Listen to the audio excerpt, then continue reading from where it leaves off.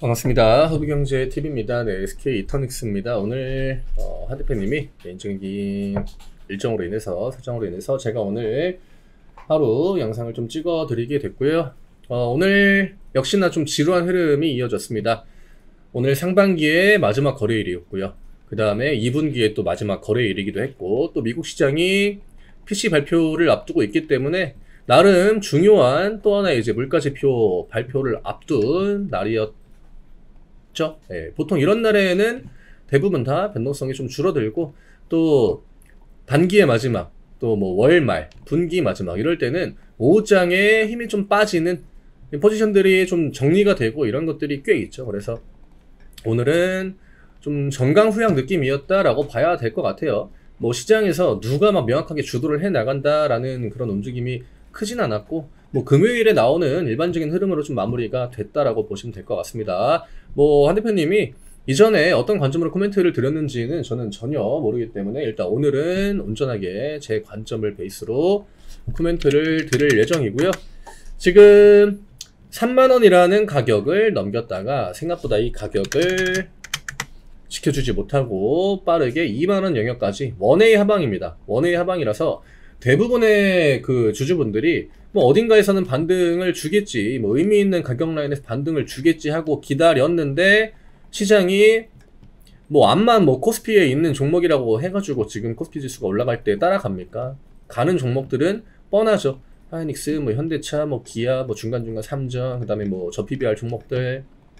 그러니까 최근에 가격을 올려주지 못한 그런 종목들은 대부분 다 6월달은 반등 한번 안 주는 이런 것들을 반등이라고 하긴 좀 그렇죠. 반등은 좀 추세를 돌려나가는 움직임이 나와야 우리가 명확하게 반등이다라고 표현할 수 있는 거고 어, 이런 흐름은 그냥 원웨이로 하방이 나오는 패턴이었다라고 봐야겠죠. 그러니까 SK 투닉스는 지금 큰 흐름 안에서는 시장에서 좀 밀려나고 있는 소외가 되고 있는 그런 상태이기 때문에 오히려 이런 종목들이 기대할 수 있는 부분들 일정이 변하고 또 뭐 분기가 넘어가고 또 반기가 넘어가고 상반기, 하반기. 네, 요런 것들을 기대를 해야 돼요. 6월 달에는 어쨌든 이 종목을 뭔가 이렇게 끌어올리고자 하는 액션이 나오지 않았다라는 거고 그 액션을 누가 만드느냐? 외국인이랑 기관들이 만듭니다. 그러니까 외국인이랑 기관들의 관점이 바뀐다라고 하는 건 얘네들의 포트폴리오에 변화가 생긴다라고 하는 거예요. 어, 내가 지금 1, 2분기 동안 이, 이 종목들을 이런 이런 애들을 많이 샀는데 어, 이제 좀 많이 오른 것 같네. 수익도 좀 충분하다 그러면은 착실은 나오겠죠.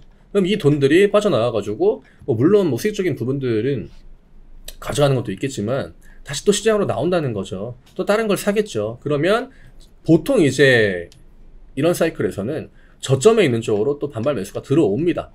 그러면서 주도 업종이 하나씩 바뀌고 물론 기존에 주도해 나가는 업종들이 계속적으로 강세를 유지해 나가는 애들도 있겠죠. 그렇지만 모두가 다 똑같은 흐름으로 그러면 1분기 때 뭐 강했던 애들이 4분기까지 움직입니까? 예, 절대 그렇지 않죠. 뭐 절대까지는 아니지만 대부분 우리나라 시장은 업종이 좀 순환이 도는 그런 구도기 때문에 주도 업종은 보통은 이제 분기마다 가져갑니다. 바뀌면서. 그렇지만 이게 1분기 실적이 좋았던 애들이 이번에는 2분기 실적에 대한 기대감, 기대감까지 좋았기 때문에 계속적으로 얘네들만 돈이 돌고 도는 그 패턴. 그러면서 이터닉스는 어떻게 보면 좀 손해를 봤다라고 봐야겠죠. 특히나 친환경 쪽 시세 많이 안 나왔고 중간에 어떤 개별적인 이슈로 인해 가지고 움직임도 나오고 뭐 ESS 관련 종목들이 또 강세를 보여주기도 하고 했지만 주도권을 가져오지는 못했습니다. 그게 가장 커요. 계속적으로 그냥 똑같이 또 하이닉스. 네. 반도체도 맨 처음에는 우르르 올라가다가 결국 나중에 남은 거는 뭐 한미 반도체, 뭐 이스페타시스, 뭐 그 다음에 뭐 SK 하이닉스 이게 세 개밖에 거의 안 남았거든요. 그러니까 지금은 애초에 그냥 한번 밀려나면은 걔네들은 그냥 기회가 올 때까지 기다리는 관점 혹은 빠르게 정리하고 그냥 강한 쪽으로 옮겨 타는 거 요런 대응밖에 할 수가 없죠. 네, 쉽지 않아요. 이런 구간에서 이게 그렇다고 막 되게 약재 같은 걸 동반해 가지고 팡팡 밀리는 것도 아니고 단봉 형태의 음봉으로 쭉 밀리는 거기 때문에 이런 구간은 늘 반등에 대한 기대감이 있거든요. 이런 것들은 심리를 좀 가지고 놀았다라고 봐야 됩니다. 네, 이제 상반기는 끝났고요. 하반기로 넘어가고 또 실적 시즌이 오고 있고 또 3분기가 시작이 되기 때문에 외국인 기관들이 포트폴리오에 일부 좀 변화를 가져간다라고 하면은 대형주 입장에서는 이제 3분기에 대한 기대를 한 번 정도는 하는 게 맞긴 해요.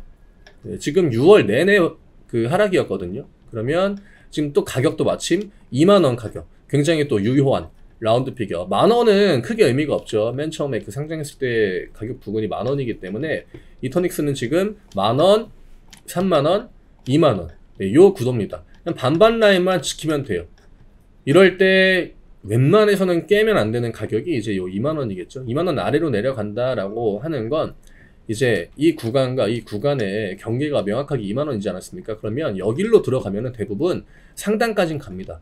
여기로 내려오면은 대부분 하단까지는 웬만큼 또 하락이 나와요. 그런 것들이 나오는 게 굉장히 좀 치명적인 게 또 신규 상장주기 때문에 어, 저는 개인적으로는 이제는 좀 돌려나가는 흐름 그리고 그걸 만들어 가려면 일단 횡보를 좀 해줘야 된다. 아니면 전고점 23,000원 정도까지 붙이는 candle 이런 것들이 필요하다라고 봐요. 그 다음에 지금 구간에서 2만 원이라는 가격이 어떤 round figure의 의미에서 중요하긴 하지만 또 하나 중요한 이유는 요 구간입니다.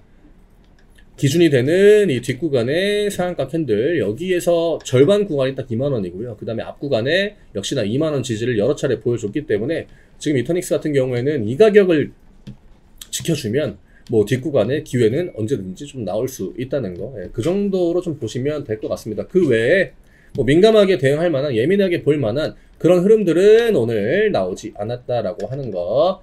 네, 좀 지루합니다. 다만 이제 하반기 다시 또 기대를 해 봐야겠죠. 수고 많으셨고요. 네, 저희 카카오 채널 링크 영상 아, 아래쪽에 늘 댓글로 파란색 링크 남겨드립니다. 무료 종목 신청 누르시고 SK 이터닉스 남겨주시면 저희가 안내해드리는 무료 종목들 같이 일주일 동안 매매하실 수 있고요. 오셔서 같이 한번 해보시면은 단기 종목들 뭐 매매해가지고 수익 챙기는 건뭐 그렇게 오래 걸리지 않으니까 많은 도움 될 겁니다. 저는 다음에 또 인사드리도록 하겠습니다. 감사합니다.